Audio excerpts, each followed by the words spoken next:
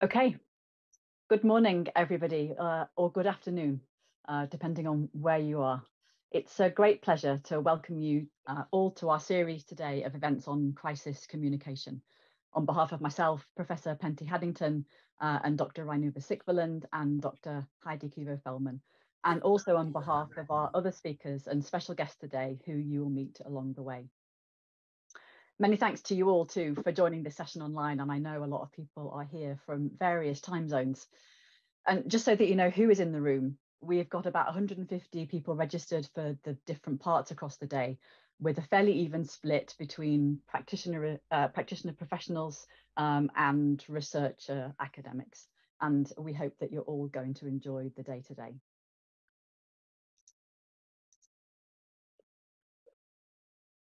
So you'll have seen from the programme that our time is split across three parts and we'll post the schedule in the chat again shortly.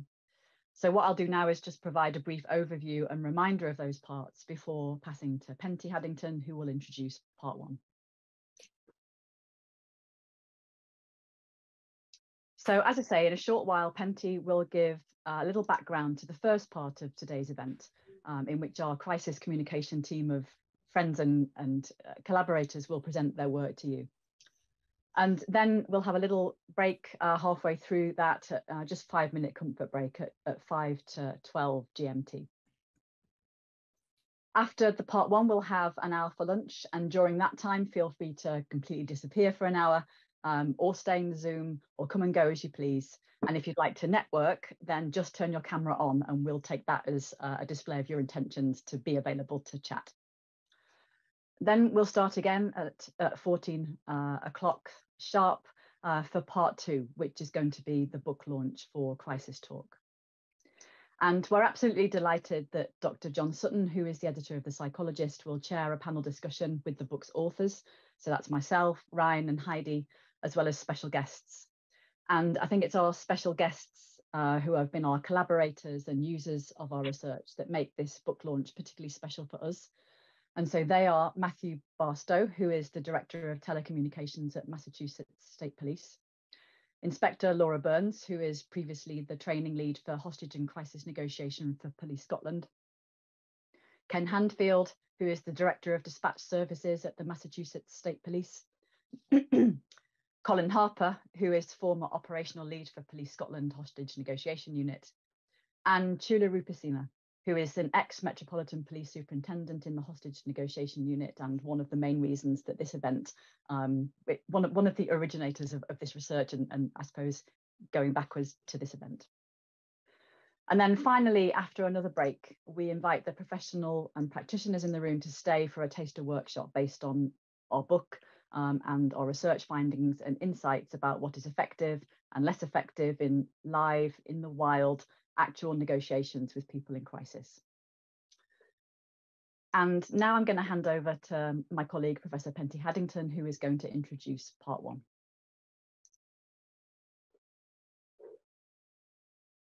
Okay, thank you, Liz, and, and a warm welcome on my behalf as well. So, and, and welcome to this part one of this uh, crisis communication seminar.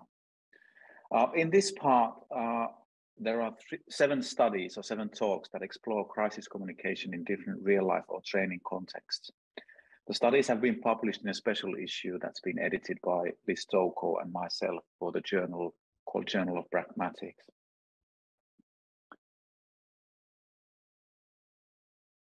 And I'm trying to control Liz's computer and it seems to be working now. So yeah, that's that's the special issue.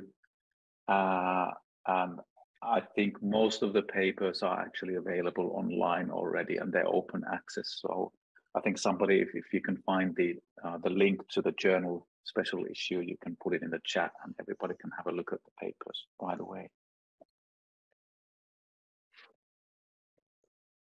Uh, the special issue originates in a workshop called Talking Crisis and Emergency Situation that situations that was organized in Loughborough in December 2019. Uh, in total, 10 authors who are all in the photo that you can see contributed to this special issue. And the authors come from the UK, Finland, Sweden, the USA, Germany, and Norway. Uh, we would especially like to thank uh, Loughborough University and Loughborough's Institute for Advanced Studies for hosting the event. Uh, the papers in, in the journal uh, special issue uh, approach crisis communication from different, different perspectives. Uh, first of all, that they study how people talk and interact, interact in situations that involve crisis, conflict, or emergency. The focus is on situations that may be low in frequency, so they don't have happen regularly, but which have nevertheless high stakes. Uh, for example, uh, in terms of involving threat to life or even potentially death, or there are other kinds of disruptions to social order. Uh, the analysis involve professionals who have different roles in crisis communication. So for example, dispatchers, medics, police, soldiers, and call handlers. Uh, the scientific approach used in the papers is called conversation analysis. This means that uh, all the studies study uh, live interactions. And the benefit of conversation analysis is that it shows how interaction in a given situation unfolds step by step, leading to some outcome or solution. Uh, the studies use audio and or video recordings from various hard to access situations which have been collected in the wild. Uh, the recordings come from real crisis situations or training exercises. The special issue complements the still small body of research on talk and interaction in crisis and emergency situations. So that's general background to all the studies, and here's the schedule for the talks and, and the topics. So the way in which we've organized this is that we'll uh, have seven 10-minute talks introducing the studies in the special issue. And as Liz said, there will be a short conflict break in the, in the middle of part one. Uh, the rationale behind the order of the studies is so that we start from studies that explore real events and, and then we move gradually towards simulations and training. Uh, we're also starting from police negotiations uh, with suicidal persons, suicide helplines, uh, police lay people, layperson interactions, uh, and call uh, calls to dis dispatch centers. And then we move gradually again to training simulations in, in mass, mass casualty exercises or crisis management training in UN military uh, observer courses. Also, the first papers primarily focus on audio only recordings and telephone calls, and then we move towards uh, more complex multimodal situations and multimodal analysis of these situations. Um, uh, we won't have breaks between the talks. Uh, there'll be plenty of time at the end of part one uh, so 30 minutes for questions and comments. And, and what we ask everybody to do is to, to write down your questions and comments. You can also use the chat. So if you want to write a question right away, uh, please put them in the chat. And then we'll return to your questions at the end of part one. Okay, and now it's my pleasure to give the floor back to Liz and Ryan and Magnus, and they will be talking about uh, behind the scenes uh, planning between negotiators for subsequent communication with crisis, persons in crisis. So the floor is yours. Great, thank you, Pentti. And as we're already running a little ahead of time, what we'll do is, is get to the comfort break. And if that arrives sooner, we'll have a slightly longer uh, comfort break. We'll, we'll see how things go timing wise.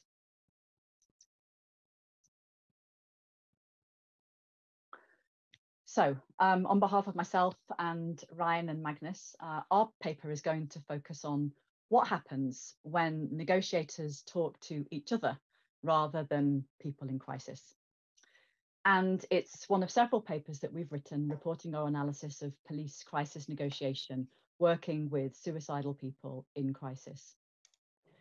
And in addition to looking at what's effective and less effective in terms of the primary negotiator talking directly to people in crisis. Um, we've also been interested in parts of the crisis negotiation that research typically doesn't reach. And one of those things um, is how members of the negotiation team maybe recommend from backstage and behind the scenes um, strategies for the primary negotiator to use with the person in crisis. So things like say this and say that. But today we're focusing on what we call the deep backstage of the negotiation. So the parties to a negotiation are the person in crisis and the primary negotiator, whose job is to engage them in a negotiation that will hopefully ultimately have a safe outcome. The role of the secondary negotiator is written about in the literature as maybe the most important um, in terms of supporting the primary negotiator. But we actually know very little about what they actually do in practice. And Ryan and I have written elsewhere about the impact of their participation in actual negotiations. But the setup that we're going to talk about today involves the primary negotiator, the secondary negotiator, and other members of the negotiation team all talking in the spaces in between the main negotiator, sort of behind the scenes, the deep backstage. And there are actually lots of opportunities for negotiators to talk to each other if the person in crisis is refusing to engage or they're asleep or if communication channels themselves are failing technically. So not all negotiation takes place face to face, but it might take place via a loudspeaker or telephones or, or so on. So what do the negotiators do when they're talking to each other? One thing they do is talk about communication itself. And it's this topic, how negotiators evaluate the scene, um, the possibilities for conversation with the person in crisis, the hurdles and the barriers that they're facing and so on. This was especially interesting for us uh, and, and what we can also learn from how the teams work together. So what I'm going to do is give you a taster of our observations across three short examples. The negotiations that we analysed took place sometimes face to face, on the phone, sometimes by shouting into a building or up on top of a building in all weathers, in all conditions. So let's take a look at a first clip where the simple, practical and technological pragmatics of having a good quality channel of communication all come sharply into focus.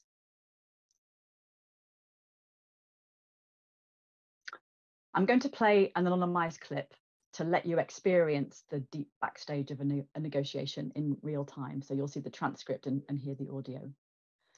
We were given access. Oop, I can hear someone's audio somewhere if people could check that they're muted. We were given access to the data by police hostage and crisis negotiators themselves who initiated the project. Um, so Chuda Rupasinghe, who is here today, uh, and, and his colleagues, we're incredibly grateful to him um, for the opportunity to actually co-produce this work directly with um, police crisis negotiators themselves. So here what we're going to see is that the, the person in crisis has barricaded himself in his flat and is threatening to kill himself with a gun. The negotiation's been happening on the telephone, and so whether the line is clear enough for him to hear him is really important. And we're going to join the, the clip as the negotiators are summarising a key aspect of what they've heard the person in crisis say so far, including whether they want to commit suicide by their own hand, by their own gun, by cop, that is to sort of induce the, the police to shoot him, or actually whether he wants to commit suicide at all. So here comes the clip.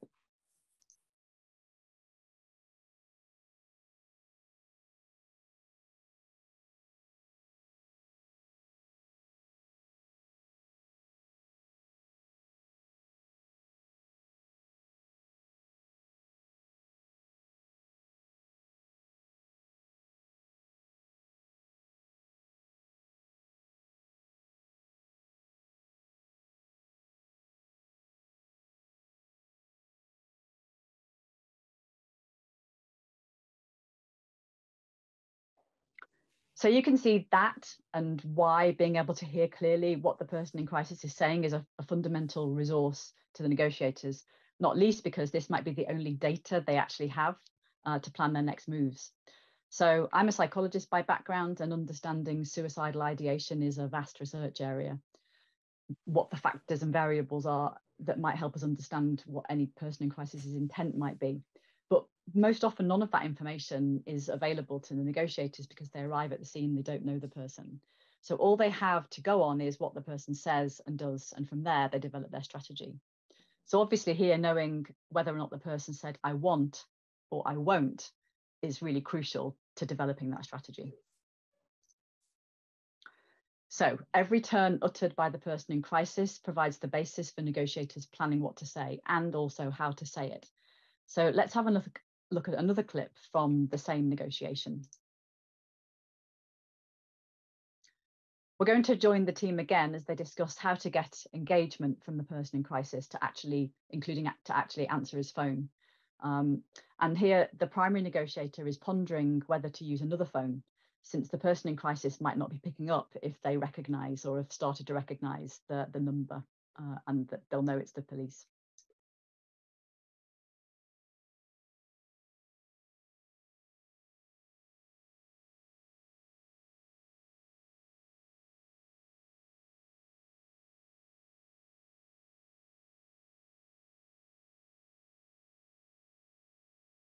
So here N4, who's a team member but not the primary negotiator, gets the team to focus on the importance of what to say in the opening gambit. What those couple of lines might actually be, word for word, isn't specified at this point. Now, we as researchers analysing the practice of negotiators know exactly what it it is that makes that opening gambit work and we know how important it is but we've also found that that quite often the most common way to start isn't necessarily the most effective and so since we've been able to describe very precisely what the negotiators do that does make for a successful opening gambit, hopefully you're starting to see the potential of this kind of research as a resource for things like backstage planning. So finally, um, the last area that we're going to look at briefly is what kind of evaluation the negotiators do of their communication with the person in crisis as they proceed through the interaction. And what we're interested in here is how the negotiators evaluate evaluate what they're doing live, kind of constructing the metrics for successful communication right here in the moment. And whether this is actually better and more interesting and more useful than thinking about a more post hoc reflection of what worked or or looking to sort of theoretical descriptions and models to what what ought to work. So this is a, a clip um, from the same case again, and we're going to join the negotiation as N2, the secondary negotiator, initiates a new sequence about their potential approach to the person in crisis um, while they've got a bit of a minute. This is how it starts.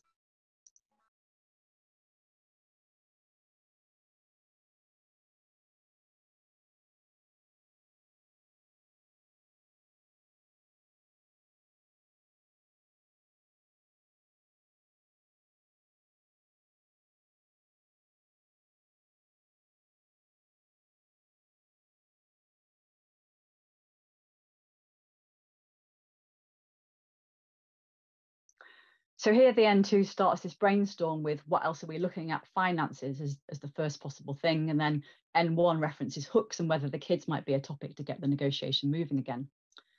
And hopefully what you can see here is that N2 seems to build off that by asking, do we look at family? And those repetitions are there to ensure that he, he can be heard in the clear of overlapping talk. But it is interesting that N2 is not as collaborative as he might appear, since he doesn't say, yes, kids is good, but continues his own sequence of things to look at that he'd started earlier himself. And so here we can also start to get a sense of team dynamics, whose suggestions count and what gets what gets folded into the plan. So to summarize then, what I'm hoping you've seen is the importance of looking at real practice to understand something that's minimally described in textbooks and articles, mostly without data, um, especially since there's the focus of research and training is mostly on the primary negotiator and the person in crisis rather than the team and how they plan.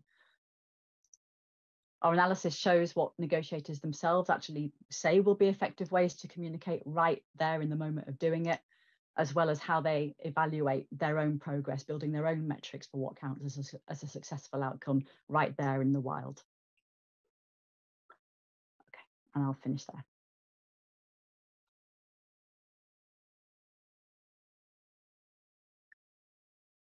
Thank you, Liz and, and Ryan and Magnus. And we'll move directly to Heidi Kevoe-Feldman's and Clara Iversen's paper on approaching institutional boundaries. So, floor is yours. Thank you very much. Uh, hi, I'm Clara Iversen, and uh, I will start presenting our paper, and then um, Heidi will uh, continue. Uh, so, uh, emergency calls and suicide helplines assist callers in crisis by either sending emergency service to a location or talking to callers in emotional despair. In each of these helplines, callers displaying a high suicide risk may uh, challenge the institutional framework and test the boundaries of routine practices that call takers typically use to assist callers.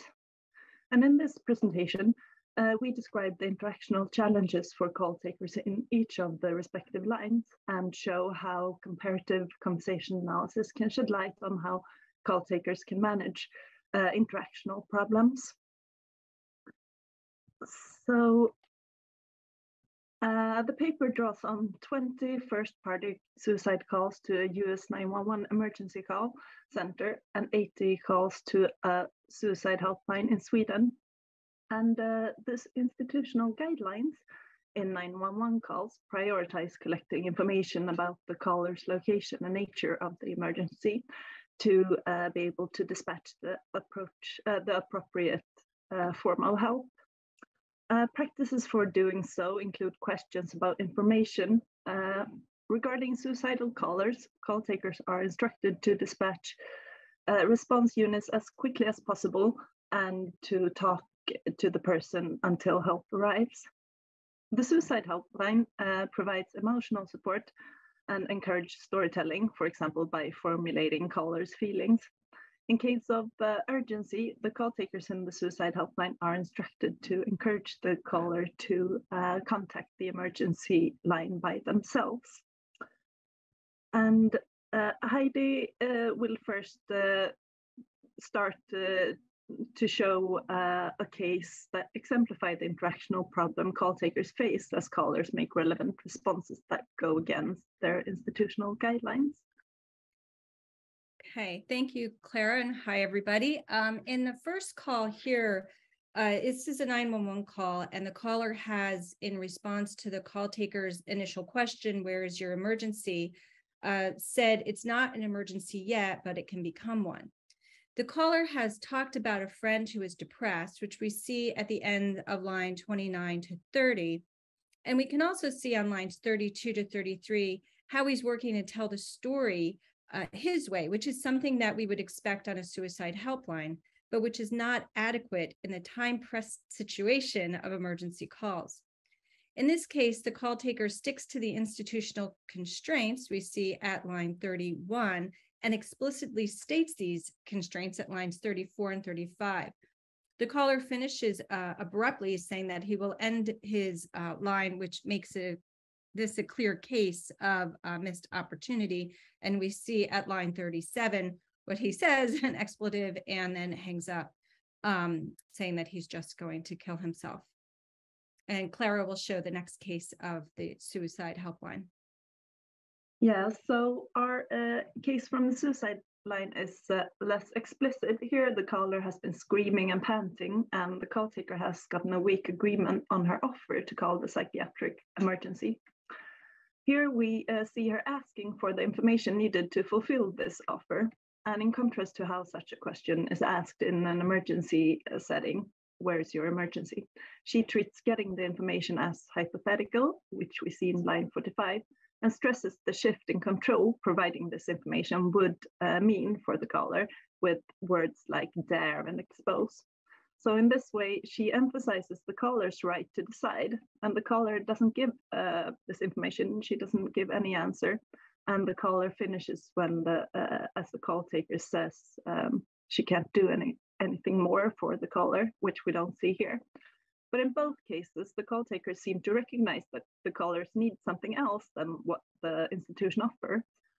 However, their resources for responding to these uh, needs within the institutional guidelines are limited, and their practices are understandable given the risks uh, of uh, blocking the line in emergency calls or um, losing uh, uh, the caller's uh, trust in suicide helpline calls.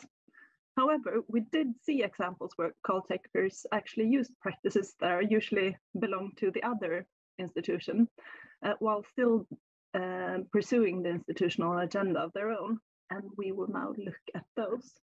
So I will first play a case from the uh, emergency line.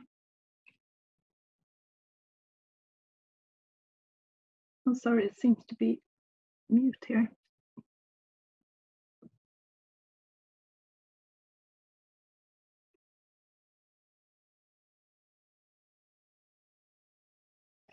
Doesn't seem to be playing the sound, but I that's, think we have to do with it anyway. Sorry.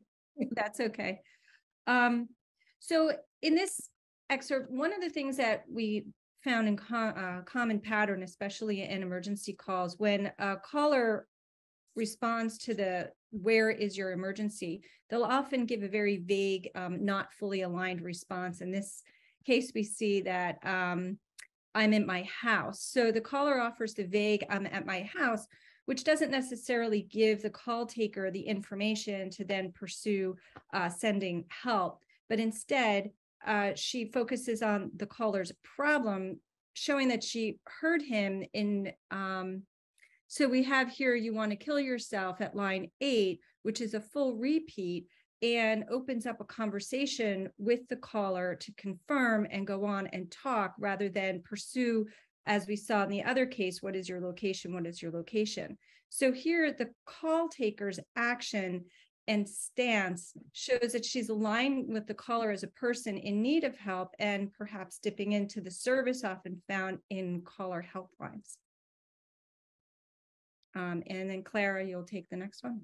Yeah, so this case from the uh, suicide helpline starts as the caller uh, has said that she wants to die and will take uh, pills, which she then does. And we will see how the call taker fulfills an agenda uh, related to emergency service, getting her address while still providing uh, supportive comments and uh, responding to the caller's, like her control.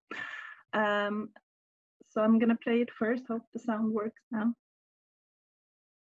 Oh, for some reason it doesn't.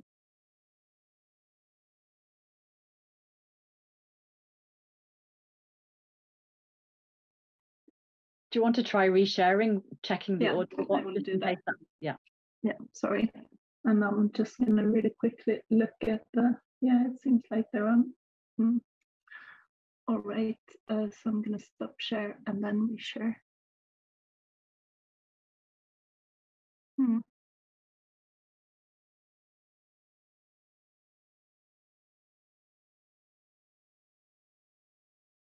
All right, Have you already did you hear that? Okay. Yeah.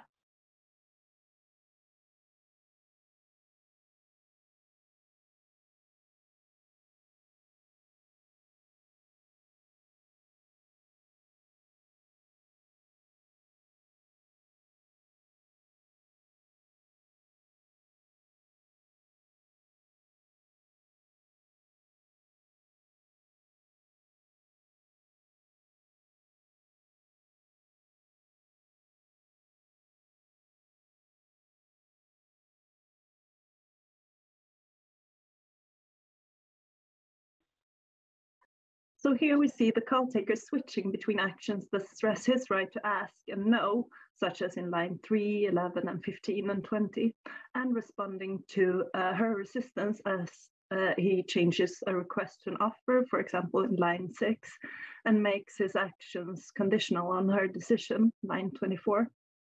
And we have deleted 30 lines where the call taker pursues that caller's address and she offers her city, and she still uh, says that she doesn't want the police to come since they treat people who try to end their life as the weirdest, which we see the end of in the final uh, example.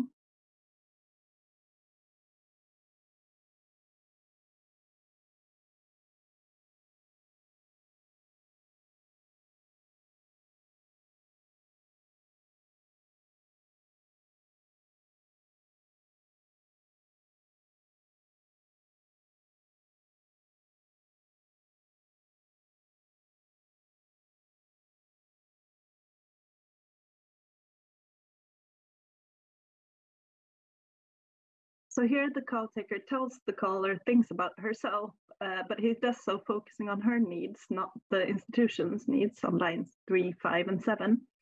The directive, give me your address, is similar to emergency practice, but the call taker agrees to the caller's condition with we will solve that uh, before he uh, uh has his final request on line uh, 17, 18. And then in uh, line eight, 19, she provides her uh, address and he stays with her until help arrives.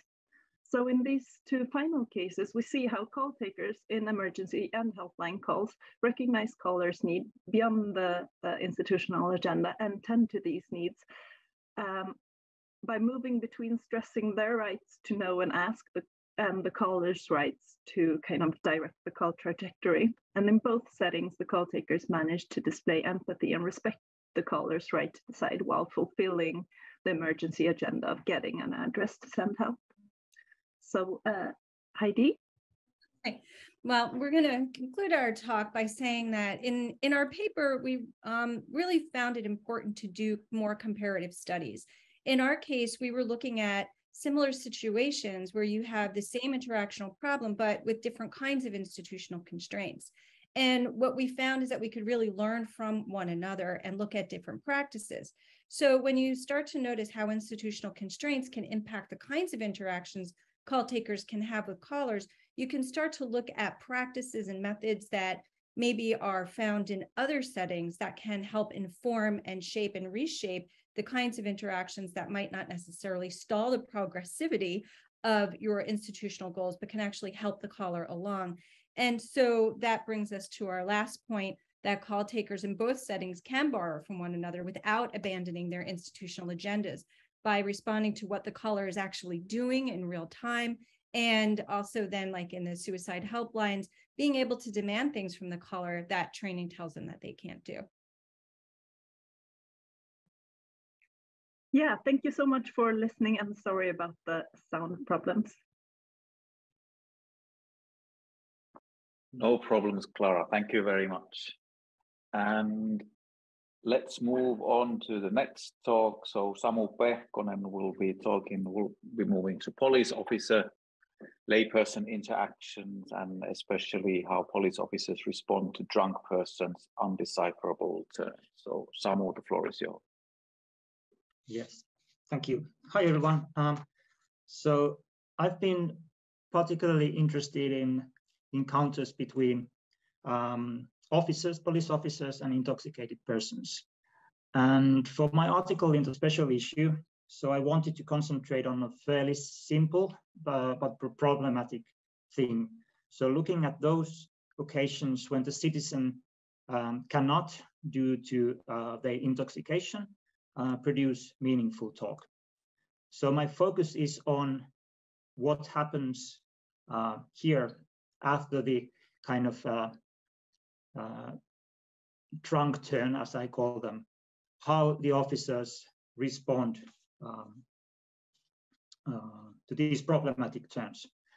And my video data come from a Finnish documentary television program, uh, Poliisit, which shows the daily life uh, uh, and daily work of police, uh, Finnish police officers.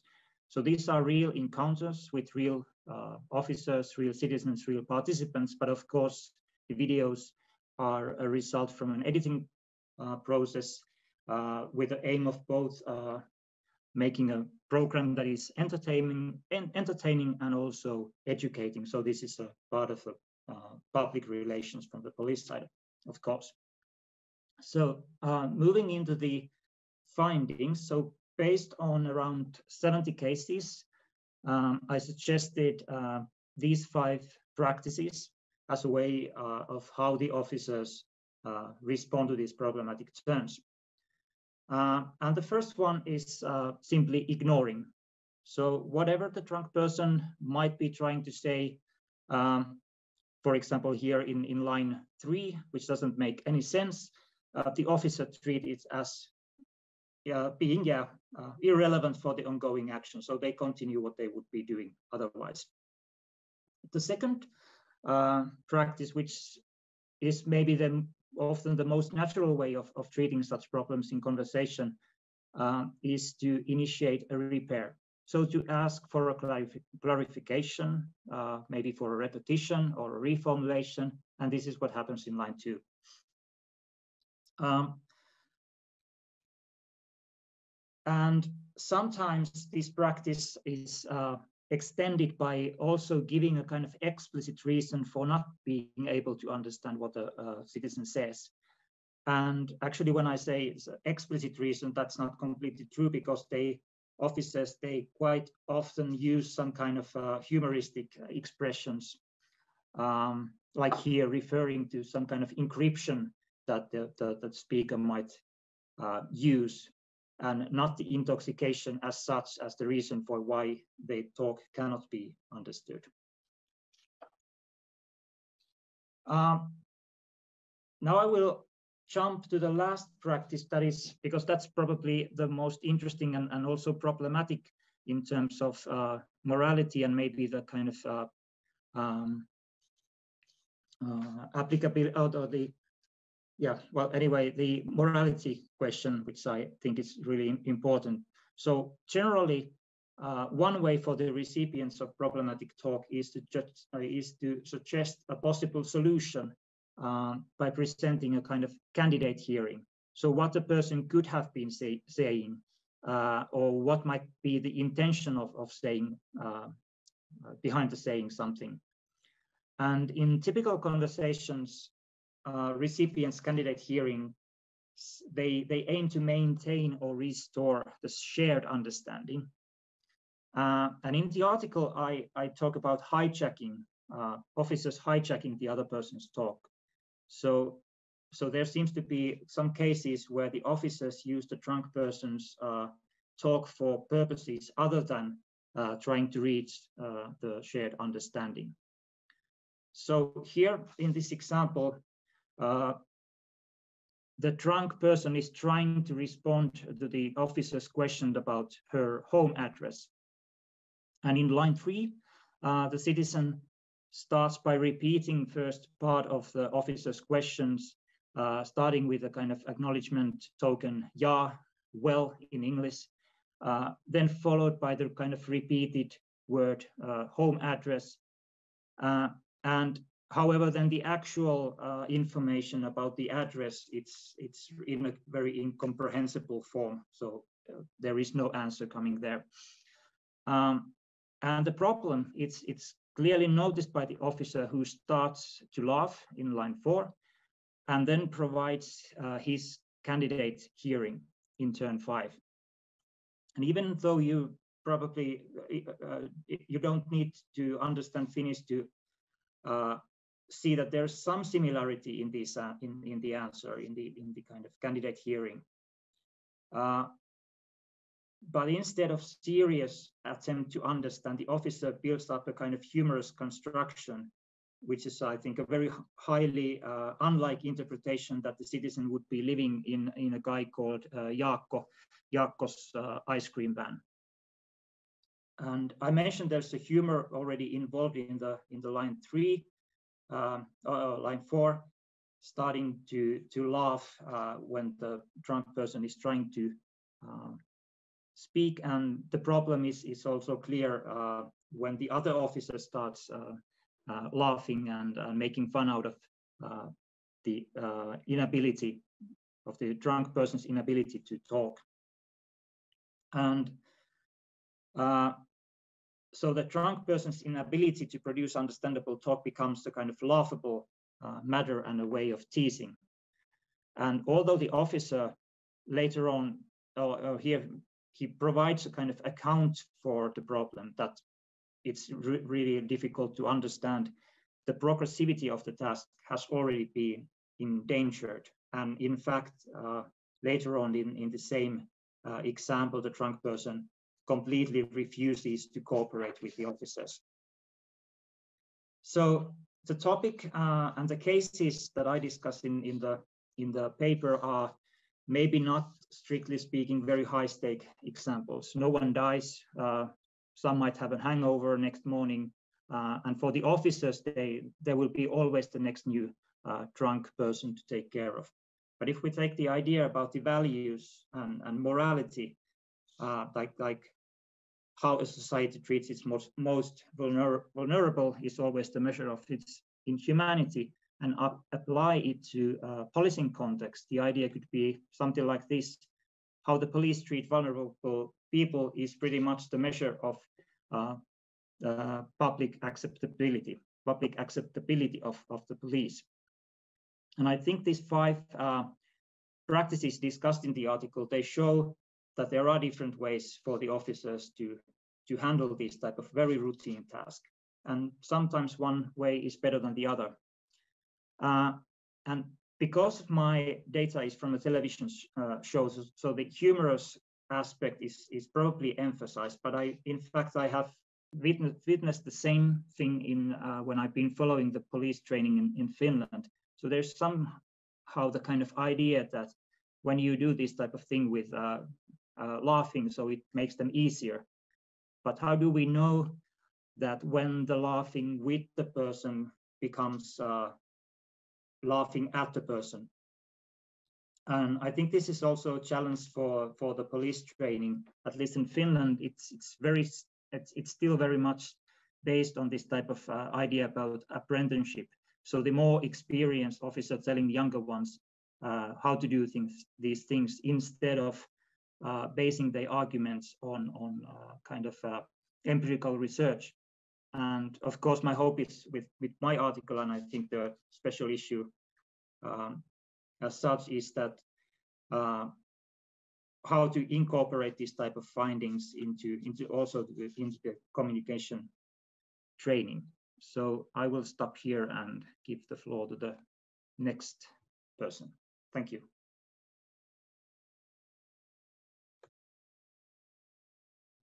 Thank you, Samu. And next in line is uh, Maximilian Krug and Karola Pitsch's uh, talk uh, on rescue activities in mass casualty incidents. And I think Carola is here, present giving the talk. So I'll give the floor to you. Hello, good morning, everyone. Um, I hope um, I have a bad cold and I hope my voice will still be uh, understandable. And so we will, Maximilian Krug and I, we have been looking at the uh, three, which is a practice for coordinating um, joint actions. So this is part of looking at teamwork in interprofessional emergency and rescue teams. And moving a simulated uh, injured person's body is a very um, important activity and task to do. We see that in uh, moments of rescuing a person from underneath a car or from inside a car or um, transferring a person from a hospital stretcher to uh, from a, to hospital stretcher. So this needs a coordinated, act, coordinated action of several participants, and it, it requires a simultaneous start and end of the action. And one of the resources people use for doing that is counting one, two, three. And we have found that in a range of different settings from this emergency and rescue teams. So it's this very mundane and well-known practice. And it also appears to be robust, for example, when people have limited visibility. So we are interested in looking at how do people organize this task of moving a person's, uh, uh, an injured person's body. Here comes um, a very short video clip. The language is German. The translation is giving in English down here. I think one, two, three. The German is eins, zwei, drei. So there's not much more about um, language to understand about that. I'm just playing that. And we filmed that with an external hand camera. You see here a person lying, uh, you don't see the person lying underneath the car, but you see the officers who try to pull uh, the person out. And here's a perspective from an eye tracking glass where you get a little better view on it. So, so dreimal ein Stück weit raus hier. Ready? Ja. Eins, zwei, drei. So we see that there's an announcement of what to be done next, then ready, focusing and checking, then the initiation of this coordinated action calling one, two, three. You notice the specific pauses in there and prosody. And then you see the coordinated action of pushing or pulling uh, the patient and the patient eventually saying ah kind of uh, signaling that it has been um, moved so we have specific conditions under which these teams um, do this and so they are constituted spontaneously these emergency teams they act under time pressure and most importantly they should not cause any further harm to the injured person there. So coordinating is really important. Often, but we also find that this is problem. This coordination is problematic, and there's uncoordinated movement of the injured person, which also has been shown by Smith 20, uh, 2021 on mountain rescue teams. And so this has to do something with establishing a rhythm and also formatting of the instruction, but we don't know yet how this is actually um, done. And that's what we have been trying to look at in this paper. So we wanted to know how the detailed design of one, two, three, this very mundane everyday practice contributes to the projection of the moment when the start is due. Also, how it is organized under different conditions with visual access or with limited visual access. And in the end, also the question how much precision is actually required for, for coordinating an action. Um, the data we are looking at here is training situations of mass casualty incidents. So a situation with low frequency, high impact, uh, such as large scale accidents, terrorist attacks, epidemics, where a large number of casualties need to be treated. In the beginning with limited rescue forces, and in the end, about 100 plus participants or professionals are on board. And here we are just looking at one tiny aspect of this um, data. The corpus we have got gathered so far six mass casualty incident drills, um, recorded there with a lot of cameras, mobile eye tracking glasses, a drone, hand cameras, so that we can actually get a grasp of the situation. And here we are just looking at a case collection of 12 instances from one MCI drill.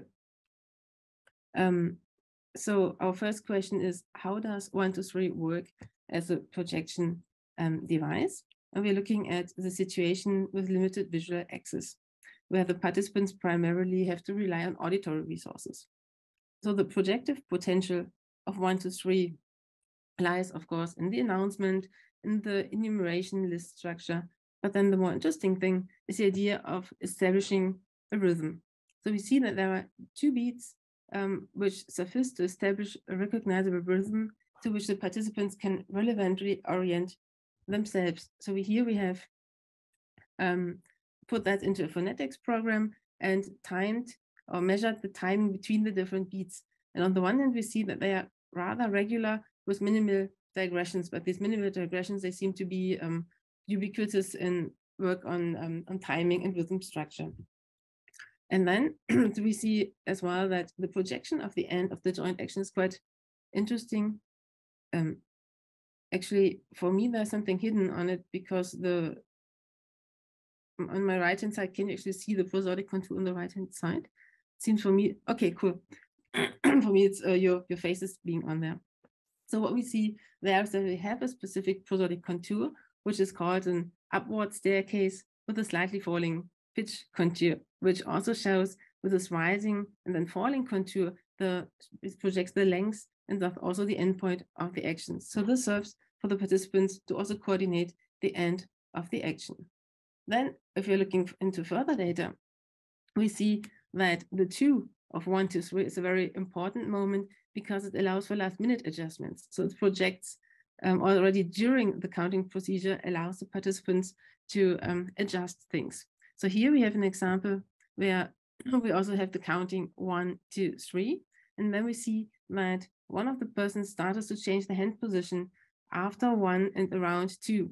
And then is also ready with his hand in the right position exactly to push or to pull on three.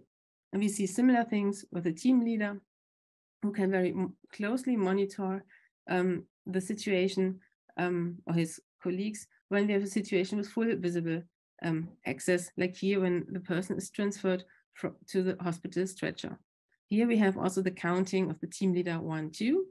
Then he observes that the shoulder has not been taken care of. He can interrupt um, also around two, the movement, and then restart one, two, three um, after this problem has been taken care of. And then everybody pulls and pushes um, together.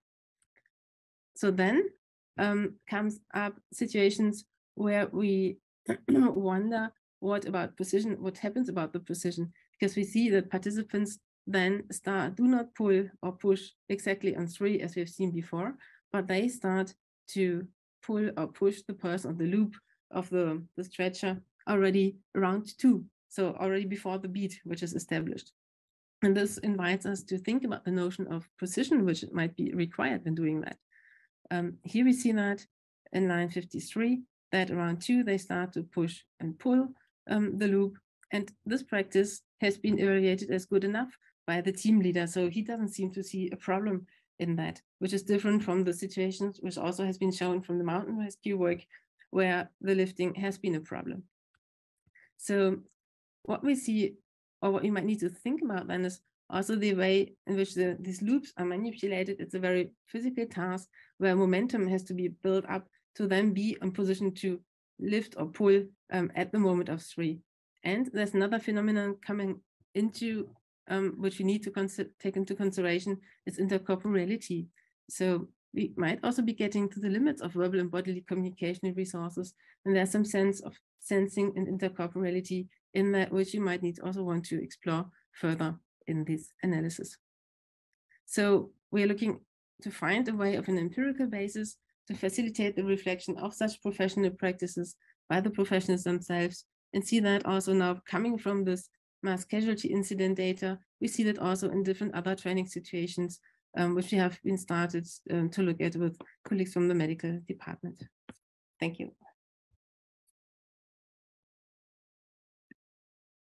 Thank you very much, Karola. I hope you will get better soon. But you did well despite the flu. So thank you. Uh, so uh, now we have time for a short coffee break and I will ask everybody to, to hold on to your questions and think for more questions and comments.